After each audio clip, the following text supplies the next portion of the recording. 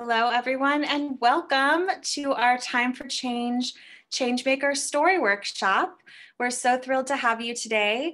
My name is Jenna Greenspan. I'm the Director of User Experience at First Book. So, all of the emails and invitations to all these exciting things that you get probably every day, every other day come from me and my team. So I'm so glad to see many of you uh, here live with us tonight. Um, this special opportunity is part of our Time for Change initiative that many of you might be familiar with, um, that we launched in January with our friends at Ashoka and our partners over at Audemars. So we have very special guests with us here from Ashoka today to lead this workshop. Um, and we just wanted to let you know that this is part of a series of books um, on the First Book Marketplace, specially curated sections, special brand new resources to help you and your students practice um, incredible change maker abilities and flex those change making muscles. Um, so we hope that you enjoy yourselves this, this evening, this afternoon, for wherever you're calling in from, that you enjoy this opportunity to uh, learn more and to connect with one another. So with that, I will pass it over to uh, Reilly Brooks from Ashoka to take it from here. Awesome. Thank you, everyone, so much for joining. Um, we're so excited to have you. Um, again, my name is Reilly Brooks. I've worked for Ashoka for about three years now, and one of my big roles at Ashoka is helping young people, social entrepreneurs, educators, and any change maker tell and share their change maker story. Um, and so that's what we're going to be doing here today. And I know all of you are very passionate about books, literature, reading. And so we're here to connect the dots between the stories we read and the stories that we have for ourselves that we want to share out to the world. Um, so this is the Changemaker Story Workshop. We're going to dive both into your personal journey of change as well as the journey your students, your schools, and your communities are going through too. Um, so just a really high level overview of what we'll be doing is we're first going to dive into the power of changemaker stories and go a little bit more into what a changemaker story is, how it's different than any other story we tell, and how it can be valuable for you in your classroom. Um, then we're also going to hear from changemakers and their journeys as well, especially starting young and what that meant in the role of educators. Then we're going to explore the stories we see in our schools and classrooms. Um, we're going to talk a little bit about reframing the narrative and the narratives we try to avoid, the narratives we try to tell, and the tools and resources that we have just for you that we will share after this workshop. Um, so with that, I'd love to learn where everyone is logging in from. I know we have educators all across the country. So in the chat, if you could please share where you are um, calling in from.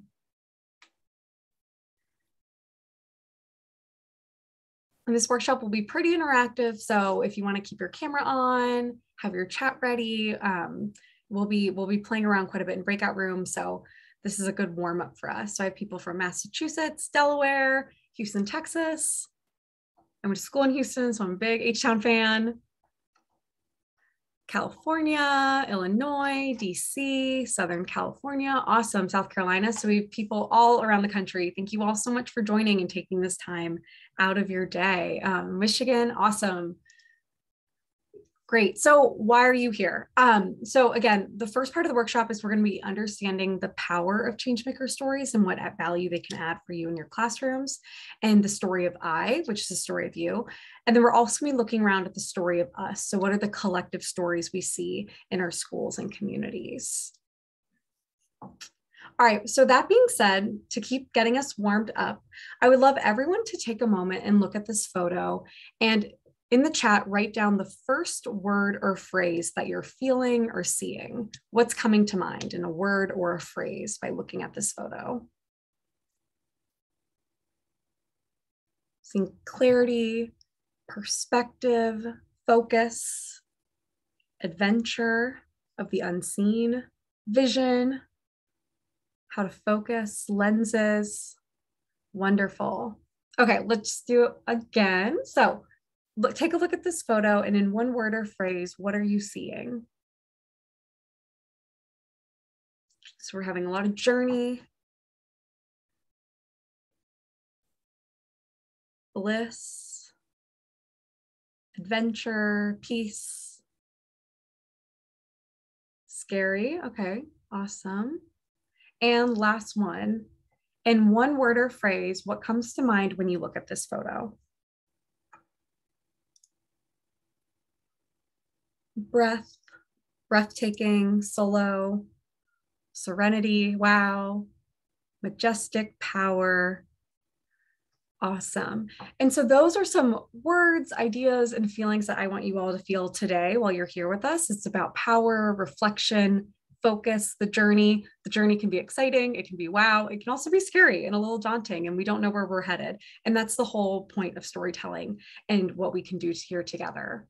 So with that, um, I have a few little setting the space, and I know this is not new to educators whatsoever, and you do this every day with the young people that you work with, but we're going to do it here together. So the first one I have is embracing discomfort. Storytelling is not an easy process. If it was, we would all be experts at it and do it every day, and there would be more millions and millions of books about changemaker stories. Um, so what I want and would love for you all to embrace the discomfort of telling your story. It's not easy, and we're all here to do it together. And I also encourage you to be open and reflective. I know you've all worked really busy days, you're tired, and this is a time for you to focus in on yourself and think about your journey and look at the bigger picture. Um, the third is to be kind to yourself and others. Sometimes it's hard to find stories. It's it's hard to articulate what we're trying to feel. Sometimes it comes from a more vulnerable or deeper place. Um, and so I just encourage you to be kind to yourself and give yourself that gratitude for being here today. The fourth is to play along um, we're kind of jumping between some different ideas and activities. So I love for you to just join with us. And the fifth is to enjoy yourself. This is not work. This should be enjoyable. So I want you to be here only if you want to be here and that it's fun for you. Wonderful. So with that being said, I'd love for everyone to prep for the session to make sure you have a pen and pencil and um, a piece of paper or your journal. You can take notes throughout, but we'll also send you a bunch of resources at the end. So no, no need to frantically write, but we will do a few writing activities. Um, so that way you're just prepared. So if you have a pen and paper, that would be great. All right, while everyone is grabbing that, I'd love to dive into what is the Changemaker story and what makes it unique and unlike any other stories that we might see. So, just so we have a shared definition before we get into the story of what a change maker is, at Ashoka, um, we've learned over the past 40 years from leading social entrepreneurs, leading systems change all around the world, um, of trying to understand like what does it mean to create change and who can create change and how do we do it. And one of the most powerful lessons we have is that anyone obviously can be a change maker from any age, from anywhere, at any time in life. And so for us, a change maker is someone who imagines a new reality takes action, and collaborates with others to bring that new reality into the being for the good of others. So, in short, it means having an idea or having a dream, forming a team, and changing your world, no matter how big or small, and doing it to at least benefit yourself and one other person around you. Um, and so, again, change makers we see in all across the world at all ages. It's an identity and a part of us. And that identity we want to put into stories so others can have as well. So in the chat, when you hear the word changemaker, I'd love to know who is a changemaker that inspires you? Who's the first person that comes to mind when you think of changemaker? It could be someone historic, someone you've never met. It could be a friend, someone who's with you right now. I'd love to hear in the chat who is a changemaker that inspires you?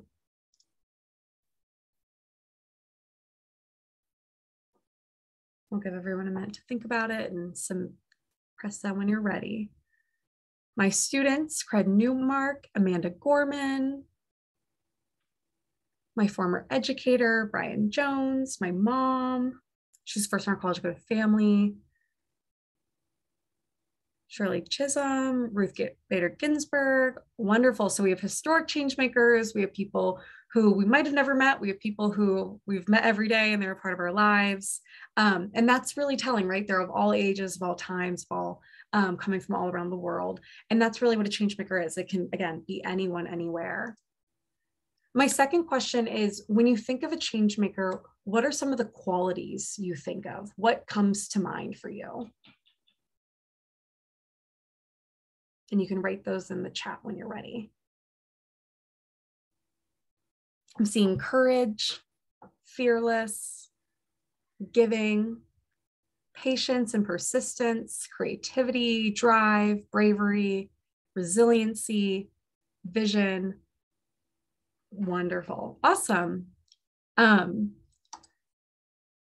so my third question is, do you see, so with all those bit qualities you see, do you see change makers amongst your students? Do you see these qualities in change makers amongst your students?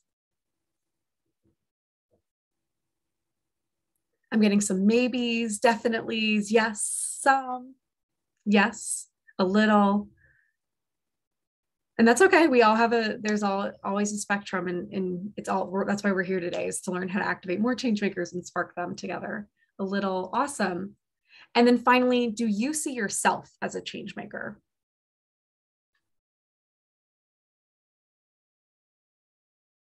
Yes yes.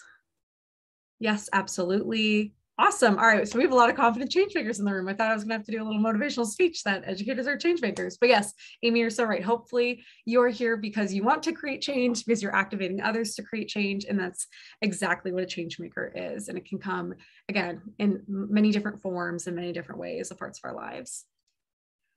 And so for us, what we see when we talk about the abilities um, is we see four really common abilities and qualities across all change makers. And this is something we try to embed in all of our stories. The first is conscious empathy, which is recognizing what is going on in the lives of others and then thinking and acting with our hearts and our minds. The second is, and we think just to pause there for a second is we think empathy is the foundation of change making is in order to create the change you first have to feel it and have to develop that empathy and then that's when you can take that first step into creating the change you want to see. The second is teamwork so how are you enabling everyone to be a player an initiator and leading with inclusivity? The third is change making leadership so how are you leading where everyone's able to step up and lead and it's not the classic vertical hierarchy where only one person can lead at a time, but rather a form of leadership where everyone has space to lead and can own different things. And the fourth is that change making action. So, how are you applying critical thinking skills to come up with more effective and sustainable ideas and solutions to address the social problems around you? Again, no matter how big or small, from your school to nationwide to around the world. And for all of these abilities, we have a bunch more resources on the Time for Change. Um, our resource, all of our resources with our campaign on the First Book Marketplace that will link after this. And we have lots of resources, including time savers and an accelerator resource to help you bring these abilities into your class. And what we're here today is once you're able to have those abilities and focus in, is collecting the stories of the young people going on that journey and finding empathy, building teams, leading, and creating these really powerful ideas for social change. Wonderful. So now to finally get into stories. Um, stories, I don't feel like I have to, I tell young people this, I tell educators this. I feel like y'all are the two groups that really get it, but obviously humans use have always used stories to make sense of our chaotic world. Stories not only shape our identities, but they are direct translations of our identities. Um, and so, you know, when we've done lots of research on the power of stories and what it means, we've seen stories in three different ways light, glue, and a web. So, stories that act as light, they help us illuminate the past, see the present more clearly, and look towards the future with a clearer vision. Stories also act as glue. They bind together teams, they unite people around a common identity or a shared um, experience, and they're the stories of our collectives.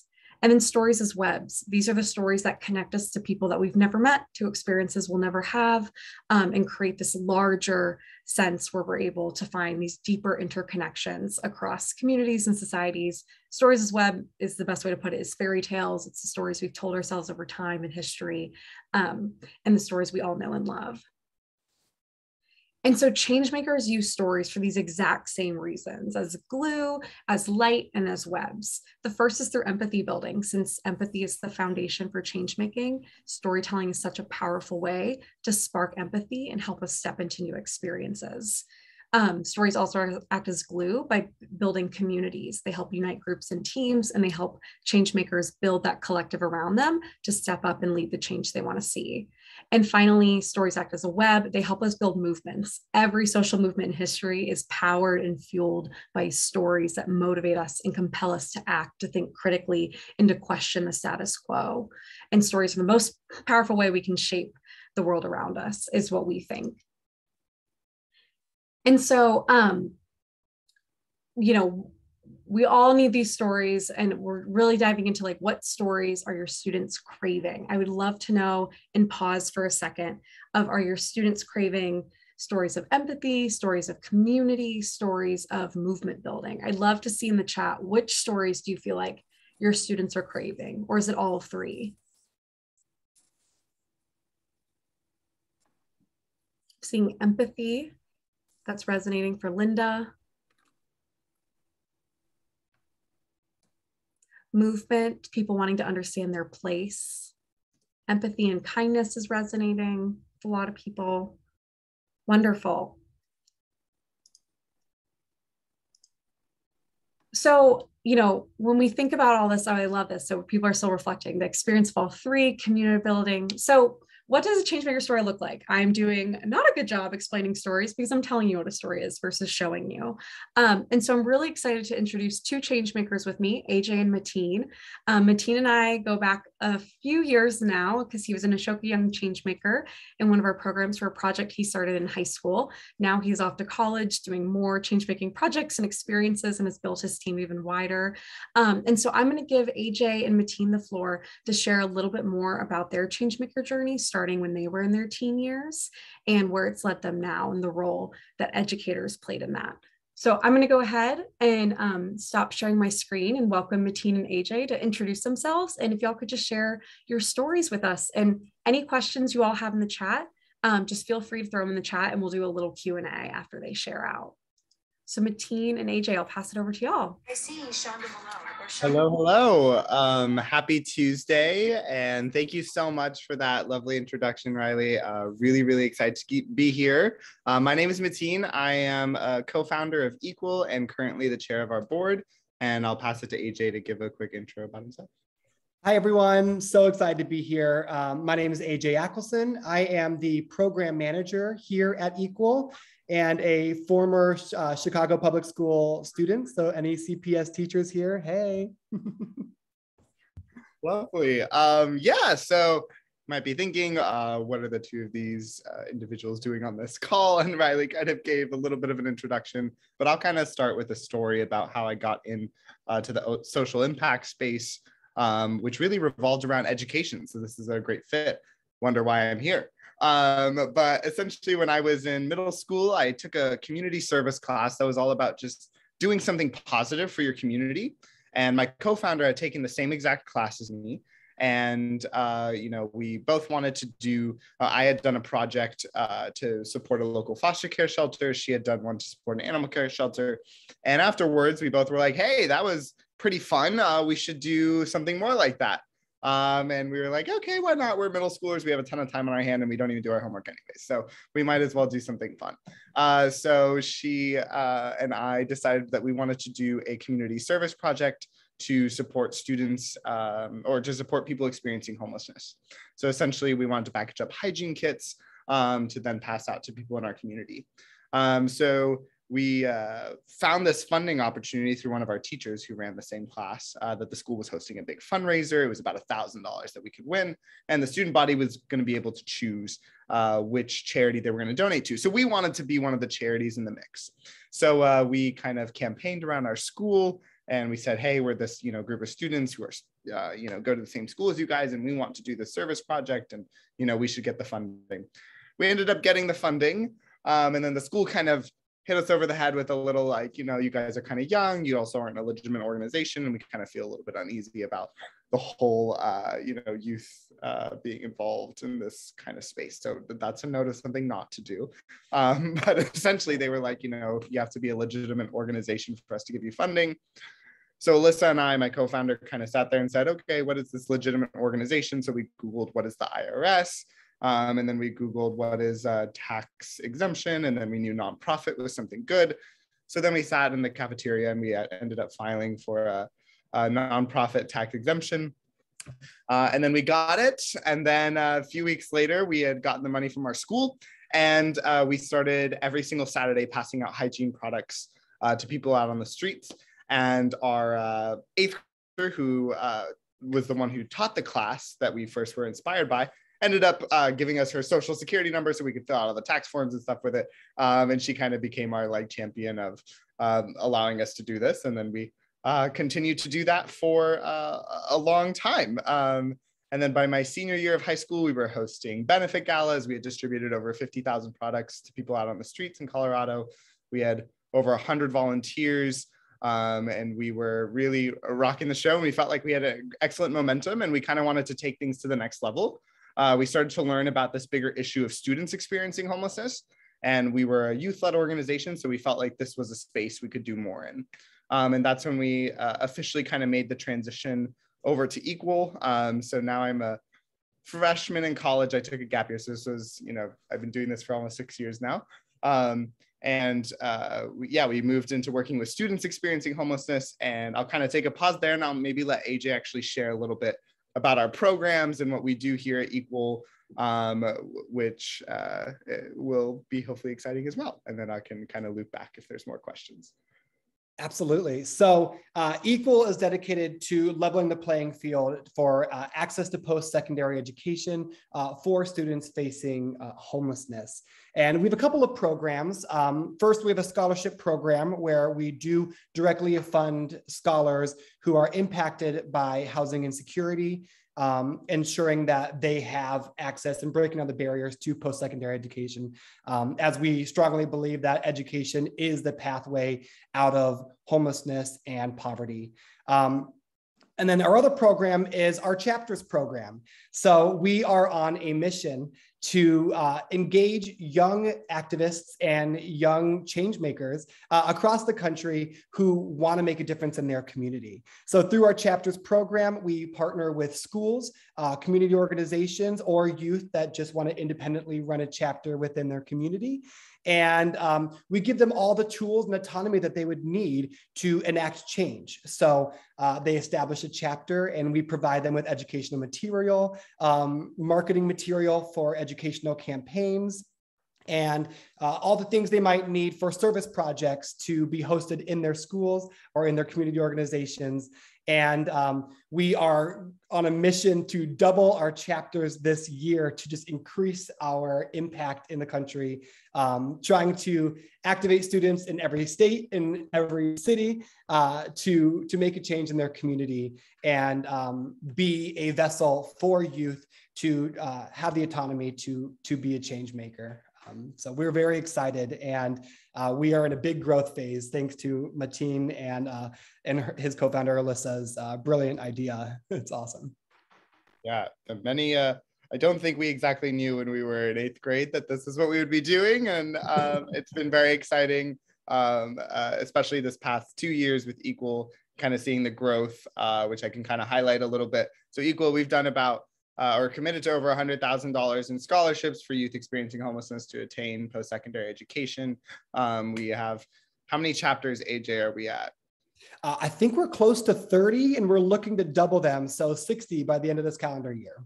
Whoop, whoop. Um, we've had really impressive reach on social media, uh, kind of garnering uh, support from youth all across the country. Um, and, uh, you know, as far as our administration, we've really established our board of directors and um, is our second full-time hire. We had one this past November, and we're actually hiring again uh, for uh, another position. So um, it's been really, really exciting to see this growth. And um, you know, I kind of will uh, move into the Q and A after this, if that's okay with you, Reilly. But um, essentially, really would highlight the importance of uh, how our really our middle school teacher inspired us and kind of pushed us to think out of the box, do something that we were passionate about. And I think what was most important about her role in all of this was she kind of harnessed the creativity and the excitement that we had um, and really didn't have us focus too much on um, you know if we're really young or the fact that yeah a lot of the odds are stacked against us but that we had a really good idea and we had a, a drive to do it and we had the time to do it and we had the privilege to do it so we should have done it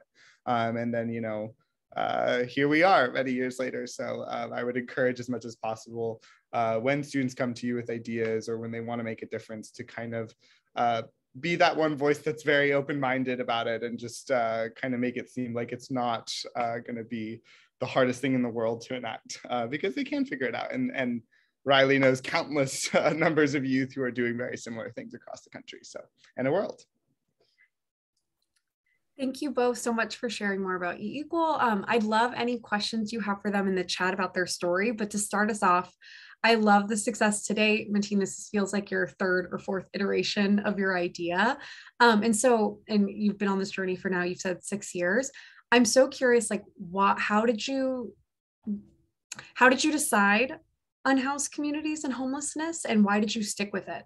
You know, why, and why did you, Alyssa, stick with this idea versus try something else in your journey? And, you know, what, how did you connect with this issue?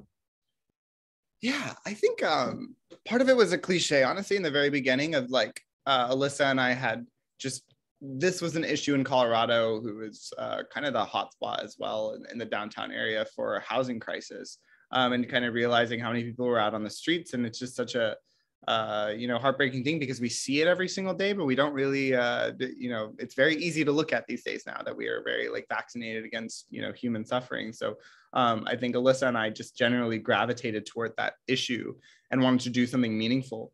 Um, but you know, we also started with a little bit of an assumption that oh, if you are experiencing homelessness, all you need is shampoo and conditioner and some food, and you'll be well on your way. Um, but what I'm really glad we did in the beginning phases was uh, taking the time to talk to people who were experiencing homelessness. So every time we would go downtown and pass out our kits and our meals, uh, we would spend a few hours just talking to people and hearing their stories. And I think that was what informed uh, how the program has changed over the years and how we've kind of evolved into working with students. I mean, learning about first that homelessness can really happen to anyone that homelessness is a housing problem not a drug uh, or alcohol problem. Um, and that there are a lot of issues that are wrapped around homelessness as well. Um, you know a lot of times we try and say you know it's drugs and alcohol domestic violence things like that. So it's true but all of those happen outside of our society anyways. But what homelessness is is a housing problem so uh, we figured it's kind of the first step towards tackling a lot of the other social issues uh, that are you know around as well is uh, get people the ability to have their basic needs met um, and then we can start to you know head on tackle other issues um, and at the same time, uh, we started, you know, passing out a lot of products to uh, unhoused youth communities. And then really what connected, I think, equal uh, and the final trajectory I think we're on is the fact that I'm um, a freshman in college and half of our scholars are freshmen, sophomores in college as well. Um, so that we have a unique opportunity here that not only do scholars call our team members to say, hey, I, I'm going to be starting, you know, at BC this fall, and I just wanted to get some financial aid questions out of the way, but also like, hey, Mateen, how are you moving into school? And like, what are you packing with you? And like, what are you nervous about? And things like that. That I have the opportunity to talk to people who are my own age and support people who are my, my own age. And I think I understand them uh, and what they're going through just as well um, as maybe, you know, someone who's been out of college for quite some time. So that for youth by youth piece uh, was in, it, really incredibly powerful. And I think that's what excites chapter members that it's not some distant community we're talking about. It's people that are in your classrooms uh, that we want to support. And that could be your friends and you wouldn't even know. Um, so that's kind of where uh, we landed there. I love that. And a question we have from Jenna is um, so in middle school and high school, how is your experience getting other people on board, right? Like now you're hiring people, now you have a big team, but I assume it was probably not like that at the beginning. So could you tell us more about what it was like to build that team and how to activate others to join you in your mission? Yeah, I uh talked to everyone and uh, anyone I knew about Equal in my school. I um, pretty much I think it's it's it's really like grassroots organizing and just uh, owning the the brand. I mean, I, I'm wearing my Equal vest right now and walk around. Uh, you know, whatever the youth groups at school had community service opportunities, I always put Equal in the mix. Um, a lot of it was just my friends. Uh, I would say, hey, you know. Uh, I'm doing this service project. Bring you and your parents and, and some family friends and come volunteer with us and then you know they would introduce me to a few more people who wanted to do it. And then from there um, also using social media uh, kind of posting all the things we were doing. And then teens from across the state would say hey um, i like what you guys are doing. I saw you're on instagram. Uh, can we come you know volunteer with you? Um, so i think it was very grassroots and it was alyssa and i and then you know those team members and everyone from there just you know talking about equal with everyone that they knew. And uh, i think we were very accessible uh, to young people because reaching out to. I think a lot of times you go to, um, you know, volunteer at soup kitchens and things like that. It's a little bit of an intimidating space, and there's really assigned job roles and things like that.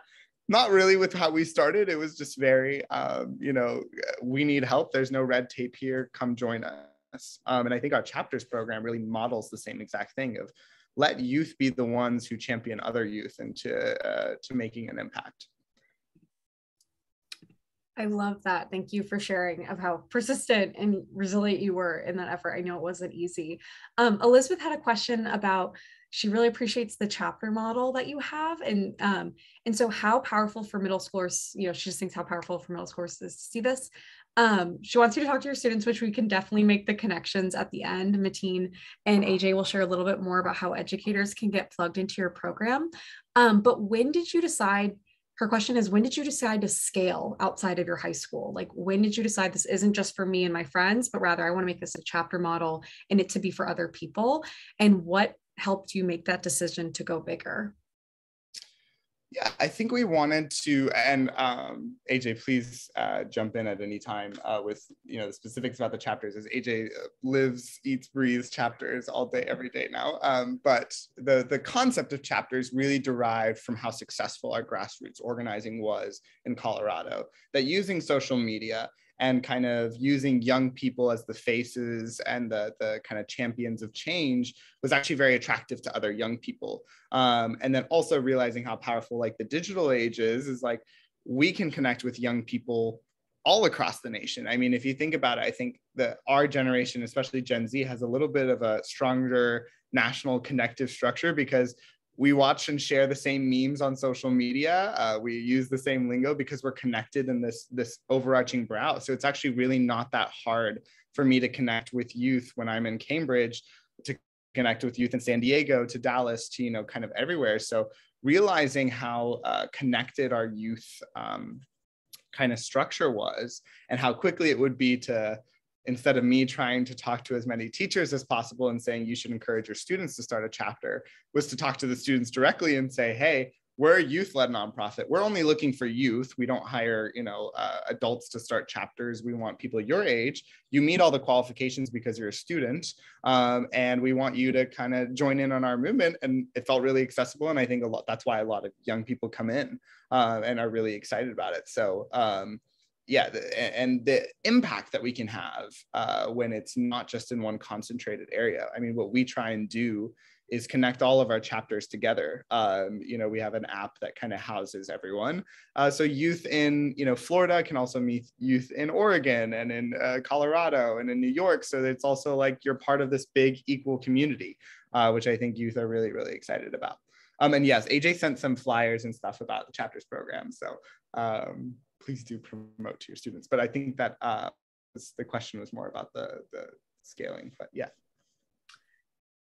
Thanks so much. I love to hear all that. Um, and we will hear more from AJ and Mateen at the end, and they'll be sticking around hopefully to join us in the breakout room right now to keep talking and sharing stories. Um, but what we're going to go to now is I love now that we've heard Mateen AJ's story, and they're just one example of millions around the world of young people leading change at all different scales.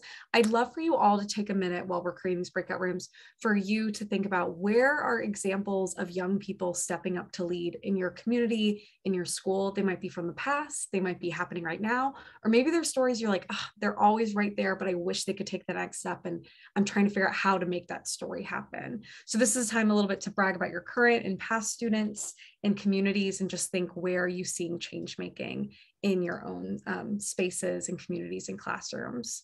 So I'm going to throw the questions in the chat and throw you all into breakout groups for about 10 minutes to share out. And feels you know very straightforward to educators but the we need to focus first on what is the primary goal of telling your story. Is it to help create more impact? Is it to recruit more team members? Share lessons learned? Even just get started and figure out or if you're in a rut and figuring out for yourself how do i keep going and what is my story and the journey i'm on?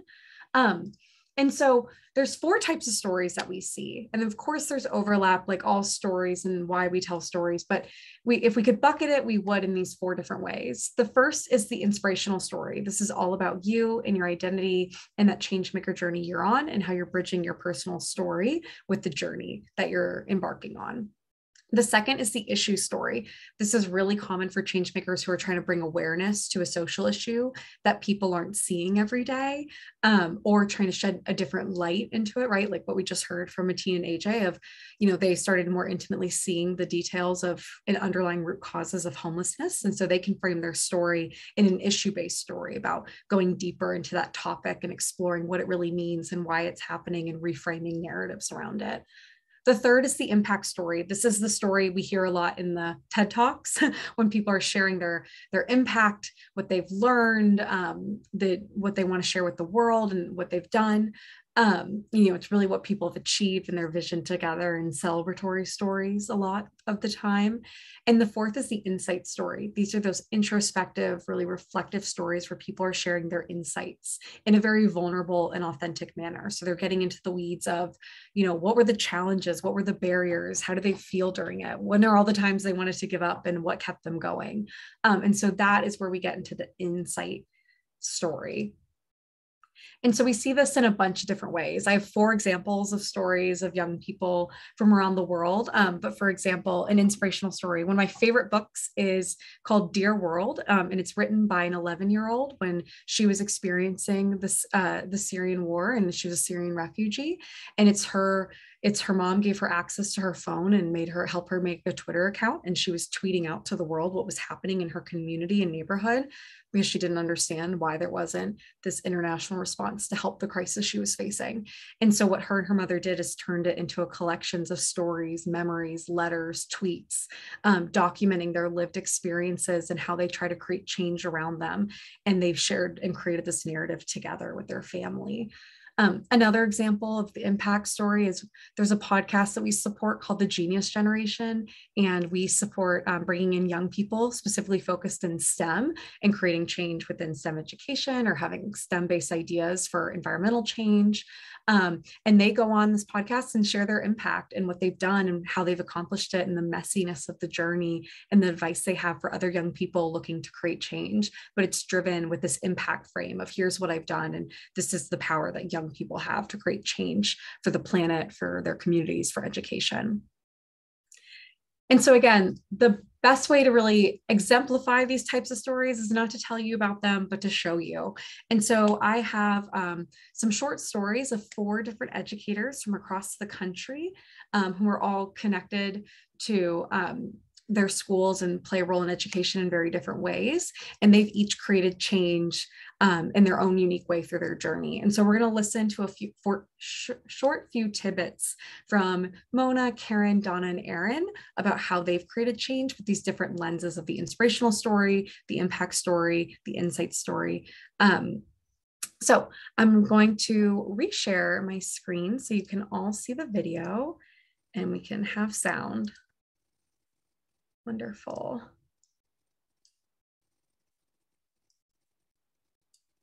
Meet Mona, a history teacher from Toledo, Ohio, who created and spread award winning training to equip students and school personnel to combat youth human trafficking. I try to look at societal issues through the lens of my students. It changes how students see where their power lies, how their civic voice and personal stories very much matter. If we teach students to use their own life experiences to discuss issues that they face, then we as teachers are helping to provide them a well rounded education. Empowering students to get involved was the best choice that I could have made because students need to be the voice for their peers. I want students to be the change makers we know they can be. I never work in isolation because when you work in the educational system, it is about collaboration and teamwork. I always try to engage with teachers and students on all of the projects I embark upon. Meet Karen, a head custodian from Mount Olive, Alabama, who recognized that switching over to green cleaning products was a powerful way to support student health and created that change in her school. One day I saw there was an opening in the Teacher Leader program. I said to myself, I want to do this, even if I am the custodian. I've always been concerned with the environment. Aerosol sprayers were placed in our hallways, and this was triggering a little boy's asthma. He would have to go to the nurse to use his inhaler, and this touched my heart. All the aerosols and harsh chemicals I was using was not helping my kids or myself. Feeling led to do something, I switched to green cleaning products. I never set out to change the world, just a little corner. I would love for this to take off and to help other students in other schools. Meet Donna, a school social worker from Albuquerque, New Mexico, who transformed the culture of her school and created a safe place where LGBTQ students could find their own voice and step into their leadership. Empowering my students to become change makers is how I think of myself as a change maker. Students have to understand that they have a role and a stake in society. If they don't have an opportunity to say, hey, this is what I think, then we're missing a huge opportunity to make our society a better society. It's important to step back ourselves and allow things to change because part of being a change maker is knowing when the students identify changes to listen to their input and help them figure out how to get their input heard. To me, being a leader is often about being more walking side by side with someone than it is about telling them what to do. Meet Aaron, a math and science teacher from Baltimore, Maryland who created a summer camp that cultivates academic, social, emotional learning and joy to counter the summer slide. Society now changes so much, things are set up different week by week. I talk to my students and tell them, you have to be able to critically think on your feet and be able to identify a situation and say to yourself, hey, how can I change the situation? Or what can I do to make the situation better?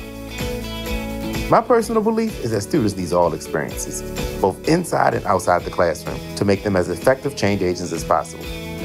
When you talk to your students, let them know when you go outside these walls, it's your job to mold how society is going to look. It's your job to speak up for justice or injustice. It's your job when you see somebody who can't speak up for themselves. It's your job to step in there and try to do your hardest to speak up and advocate for the next person. So, one way we can always do this is by making the classroom an environment that's a team not just one leader. And there's several leaders in my classroom. What's your personal change? Like these AFT change makers, how can you increase?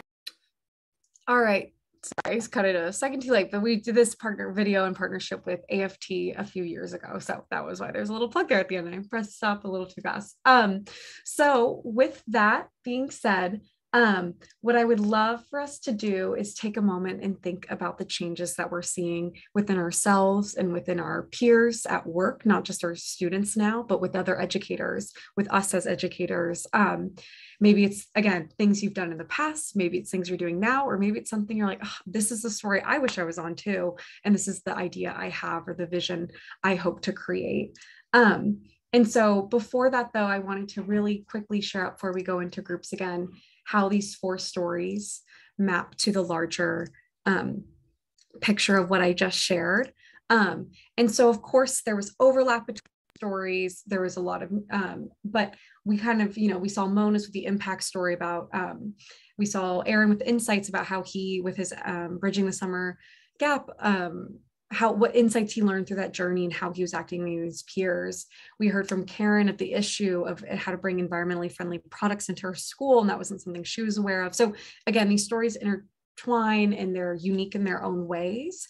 Um, but there's different motives for why we share stories and what value it brings to us and those in our we want to hear it in our audiences.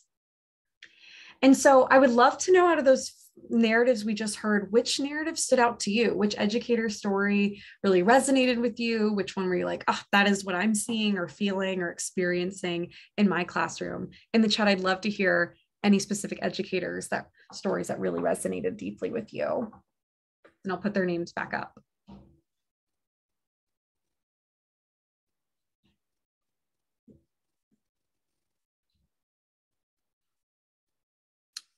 If Aaron's story really resonated. A lot of people had Aaron's story really resonate with them and the initiative he founded with Magic uh, Magic Minds.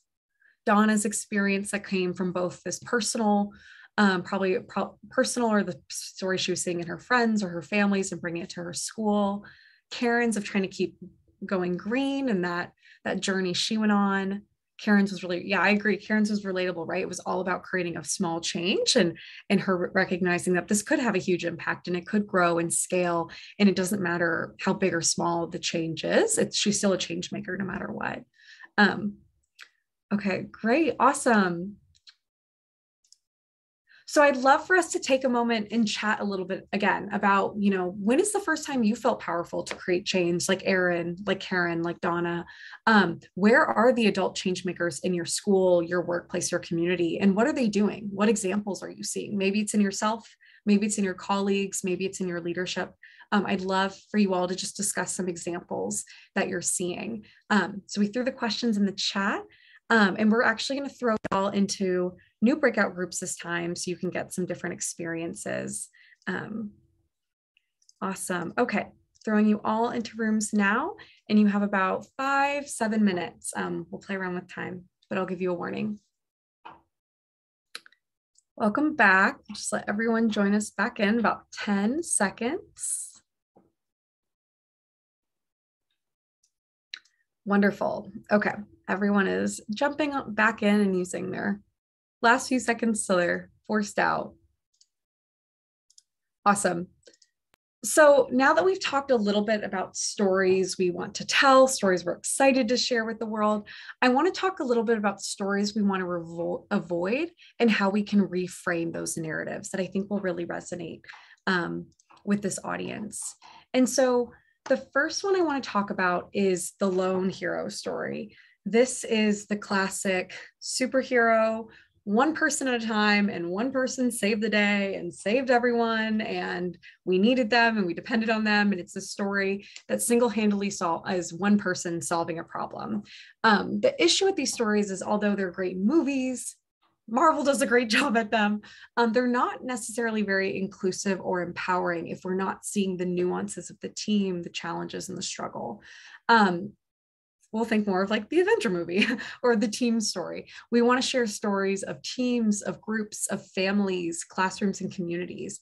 Um, you, of course, are the main character of your own story. Your students are the main character of their story, or your scholars. They're all their own main character. But no good story is a solo story. We all have this um, these people, these experiences who people who support us, people who tell us no, people who pick us up when we're down. They're um, all part of that bigger story. And so what we really try to do with Changemaker Stories is reframe the narrative to be about the collective, the team story even if it's just one other person and starting small. The second story we try to focus on avoiding is the deficit story. Um, I think this really resonates, it seems, with educators of this is the story where we're defining people based on what they lack, what they need. Um, and it reproduces the harmful societal narratives that we see that some people have less to offer than others. This probably is common when you hear about all the times like kids who can't do this or can't do that um, and they have to be defined by where they came from Instead, what we really try to do is reframe the story to be about assets and what everyone has to offer. Again, you are the main character of your own story. You're not defined by anything but yourself. And so we want to focus on people's abilities, their contributions, their opportunities. Of course, these stories can have the nuances of your life and your lived experiences and the challenges you faced, but we really want to prioritize how do we focus on um, what everyone has to offer and how they can control and shape their own narratives. And the final story that we try to avoid is the standard success story. This is the um, in social impact. And a lot of times in our professional sense, we see this as about being really data driven and numbers driven and quantifying a story's importance or success based on the number of lives saved, the number of people reached. Um, in our everyday lives, it might be the standard version of success is, you know, those preconceived notions of success, like a very clear path to college, or um, maybe it's you know you have are your valedictorian or you're the team captain right? Like yes of course those are wonderful and awesome but not everyone needs to fit a mold and there's not one path to success especially you know in those early years of your journey. And so we really try to focus on the transformational story. So not defining people by statistics by their grades by the number of lives they've saved but really focusing on how do you end up at a different point from where you started and what did you learn along the way who joined you, and what did it mean to find that power. And so I'd love, um, I know I went through those fast, but I want to be mindful of our time and really focus. Um, I'm curious, and since we have a smaller group here, of you know which type of narratives would resonate most deeply with your students and which narratives aren't you seeing i'd love in the chat if you could throw out or unmute and share out of you know which of these narratives is it the standard success story? Is it the deficit story? Is it the lone hero story? Which narratives are you seeing a lot of and which ones do you want to see more of? The team story the asset story and the transformational story. I'd love to hear from people in the chat or um, just in uh, or you can unmute yourself and share. Yeah chris i see your hand raised so i'm really interested in um, the deficit stories so much has been focused around learning loss and what have our children lost during this pandemic and as we're trying to come back and how do we you know catch them up and instead of let's stop looking at what may be considered a loss let's consider what we gained. Um, how much more knowledgeable we are and how much more connected we are because of Zoom, right? because and how my students are like tech savvy beyond belief because they had to quickly learn how to navigate all of those different um, tools to be able to to learn when we were, were virtual. So um, I think that deficit story and the reframing it to the asset stories is something really, really powerful to help students navigate and build resilience. See how great you are and not worry about how much someone may say we didn't, you know, gain or we lost. Thank you for sharing. I think the pandemic is such a good example of it's defined by loss and what we lack. And yes, the framing of what it is is important, but how do we reframe it to be about what we what we've learned, what we've contributed, what we realized about ourselves, right? It's pro- promoted mental health in new ways that I don't think we would have gotten as fast. It's promoted hybrid working and um, different types of learning, different paths. I think it's opened a lot of doors for people to take a year off and and to have a year to themselves. Like I think it's created right just what you're saying is these other opportunities that can be a part of the story while keeping um, while also bringing in the reality of what the problem was but putting it in a way that's helpful. And I, a lot of people agree with you on that one. And people are it seems like elizabeth's so high, tired of hearing the lone hero story. Um, yeah and people not being able to see themselves in the story i think that's a really powerful point too is we want to show stories where people can identify with and have that deep connection. And not every story is going to do that but that's why we need to tell as many stories as we can and find stories from every part of our classrooms our schools and our communities to be able to represent as many voices perspectives and lived experiences as possible um, and how everyone can have that story too yeah, I love that these experiences, people connecting with the lone heroes and coming from deep pockets, right? Like there's, you know, there's so much more to the story, and we need to get to the vulnerability, the authenticity, and the humanity, which is about collectives and teams.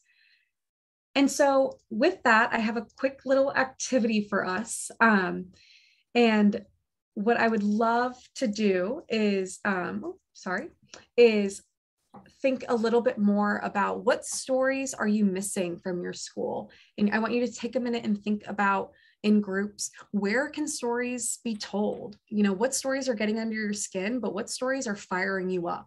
And how could you be sharing those stories whether it's in your your programs your classrooms your assemblies your communications?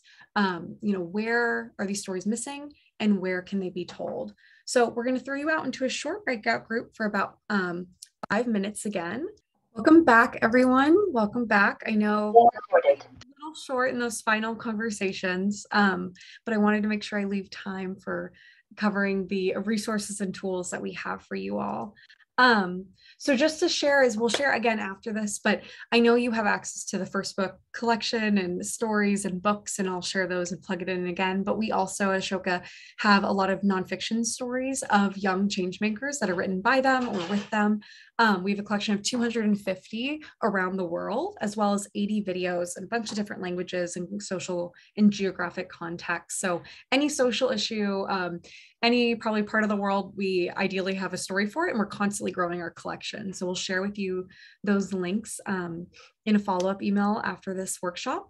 And I also have some personalized worksheets and reflection guides that cover the narratives and reframing the narrative, the types of stories, and a guide young people and you can do um, to think a little bit more deeply about the stories that you want to share in your own personal narratives that you can just copy and paste the questions or use the reflection sheet that we have. Um, so, as a final thought and a send off to everyone before I wrap this up, I wanted to see in the chat what is one way you want to bring changemaker stories to your school, your program, or your community. I'd love to see in the chat one way you want to bring changemaker stories to your school, your program, or your community. And I know people are probably still thinking on this and ideating of how they want to share those stories and where they want to go, whether it's in their materials, the books, um, the videos. Yes, of course, we will share everything in a detailed follow up after this. So you have more examples of young people and social entrepreneurs and adults who've led change revamping your library collection so young people can read more stories. Conversation i think that's a, such a powerful thing is how do you just get people talking to each other and thinking critically like this? Writing their own stories and being able to share that with their friends their parents their family um, themselves over time. Getting student voices out there i love it through action yes, I totally agree, Linda. Start with the books for inspiration, follow it with journaling, and follow that with action. I love the three step approach and the three action steps you have leaving this. Wonderful. Um, we're also going to be sharing with you, and I'll just throw it in the chat right now and in an email, a nomination form where if you see these stories in your classrooms, in your schools, we would love to learn from them and see them. We're going to be featuring some stories through a campaign we'll be leading called Changemakers Like Me, um, and some other things we'll be doing with our Time for Change initiative. And so we'd love to feature the stories that are happening in your everyday lives, in your classrooms, um, and through your students. And finally, if there's any resources you need, there's books, we have um, guides, again, uh, materials for both curriculum, activities, and stories on the Facebook, first book, sorry, first book marketplace um, for you to access and enjoy. And all of our um, downloadable resources and tools for educators are free and open for you to use with your colleagues and for yourselves to spark empathy, to build, help young people build teams, um, to step into leaders and to create that powerful action. So again, just as a signing off note, you know, the first story we tell ourselves is the story that we the way we want to live our lives right? And you know stories shape our thoughts and their memories and they change the way we live our lives. So if more young people were sharing stories and reading stories of change makers and seeing them in their everyday lives how many more young people would be able to step up and find their own power to create their own story too? So with that, um, I'm going to pass it back over to Mateen and AJ to share some final things they wanted to share with us about their program and initiative and how educators can get involved. And we'll also be sharing you their contact information in case you want to plug in with them um, personally. So I'm going to pass it over to Mateen and AJ for some final thoughts on how educators can get involved with Equal. AJ, I'll let you take the stage. Love it. Thank you so much. Um, friends, thank you so much for this fabulous, fabulous moment together. Hearing your stories, being able to share our story has been so fabulous. Um, we mentioned this before, but Equal is on a huge mission to enact change across the country, um, specifically with our chapters program, uh, establishing chapters, uh, youth led chapters in schools and community organizations around the country. We are looking to double our numbers this year, and it really comes down to educators and administrators just like you are our key to growth. Um, I'm going to reshare the flyer and the one sheet that I had shared earlier, um, but I would love it. I think both of us would love it if you would be able to share this opportunity with your students. Um, if you are in the elementary sphere, share with your fellow high school educators um, in your district and help us spread the word about how we can make a big impact on our unhoused community members in every state across the country. Um, The flyer and the one sheet are intended to share more information with teachers and school administrators.